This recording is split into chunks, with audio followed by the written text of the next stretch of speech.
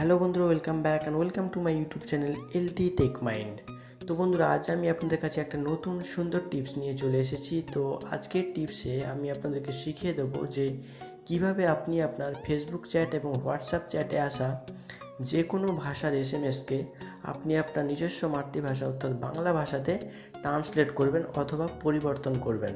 তো বন্ধুরা জানতে হলে ভিডিওটি অবশ্যই শেষ অবধি দেখুন। আপনারা দেখছেন LT tech mind YouTube channel, আমি সন্দীপন। ইউটিউবের লেটেস্ট ভিডিওগুলি সবার আগে দেখার জন্য এলটি টেক মাইন্ড চ্যানেলটিকে সাবস্ক্রাইব করুন এবং নতুন নতুন ভিডিওর নোটিফিকেশন পাওয়ার জন্য বেল আইটেমটিতে ক্লিক করুন।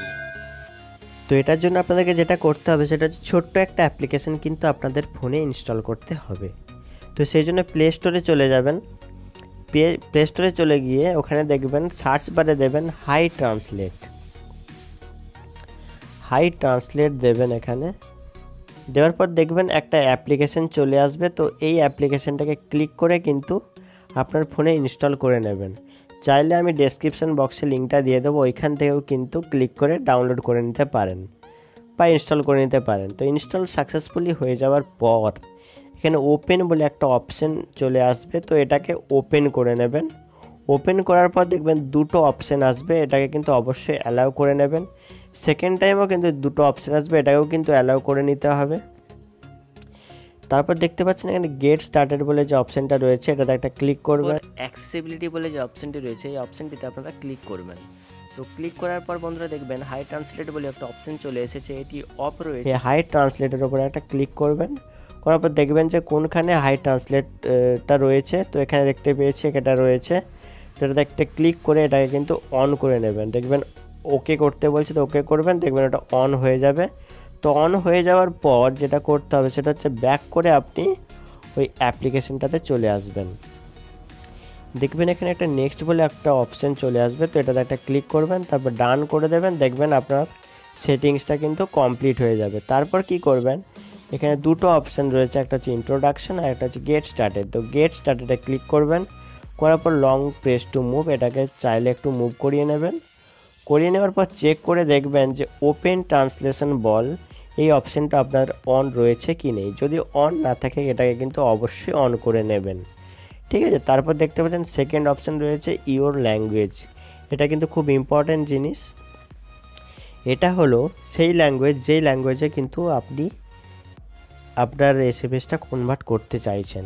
তো আপনি যদি বেঙ্গলিতে কনভার্ট করতে চান আপনার এসএমএসগুলোকে তাহলে কিন্তু অবশ্যই ল্যাঙ্গুয়েজটাকে বেঙ্গলি করে দেবেন। আমি বেঙ্গলি করে আপনাদেরকে দেখাচ্ছি। এটা বেঙ্গলি করে দিলাম মানে যে কোনো এস এম এসে কিন্তু আমি ইজিলি বেঙ্গলিতে কনভার্ট করতে পারব। সেটা যে ল্যাঙ্গুয়েজে লেখা থাকুক না কেন ওকে তো এখন আমার কনফিগারেশন পুরোপুরি কমপ্লিট হয়ে গেছে। তো এবার আমরা দেখব যে কীভাবে অ্যাপ্লিকেশানটা কাজ করে বা কীভাবে আপনি ইউজ করবেন। সেই জন্য আমি হোয়াটসঅ্যাপে চলে গেলাম। তো হোয়াটসঅ্যাপে চলে যাওয়ার পর দেখতে পাচ্ছেন রাম বলে একটা বন্ধু আমাকে বেশ কিছু এস এম এস পাঠিয়েছে। যে এস এম এসগুলো কিন্তু ইংলিশে রয়েছে। তো এটাকে কীভাবে আমি বেঙ্গলিতে কনভার্ট করব। তো চলুন সেটা দেখা যাক। এই সাইডে দেখতে পাচ্ছেন একটা তীর চিহ্ন রয়েছে। এটাতে একটা ক্লিক করবেন।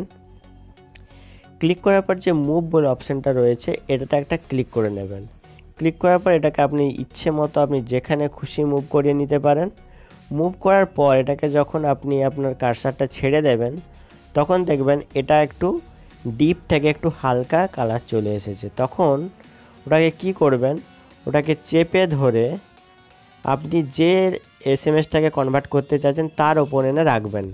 দেখবেন কিছুক্ষণের মধ্যে কিন্তু ওটা বেঙ্গলিতে অর্থাৎ আপনার নিজস্ব ল্যাঙ্গুয়েজে কিন্তু ট্রান্সলেট হয়ে যাবে। তো এইভাবে কিন্তু হাই ট্রান্সলেট ইউজ করে মানে হাই ট্রান্সলেট অ্যাপ্লিকেশানটা ইউজ করে কিন্তু ইজিলি আপনি যে কোনো এস এম এসকে কিন্তু আপনার নিজস্ব ল্যাঙ্গুয়েজে কনভার্ট করতে পারবেন।